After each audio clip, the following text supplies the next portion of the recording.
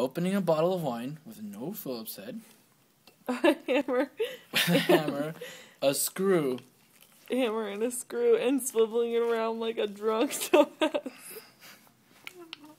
I don't know, sometimes desperate. Do you think this is even gonna work? Oh yeah. There we go. Rednecking it up. rednecking it.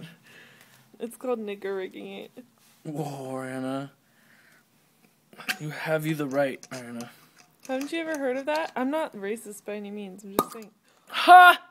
Thank you for after all. Oh no, I don't. I You don't weren't want, in I don't you want any it. credit for You this.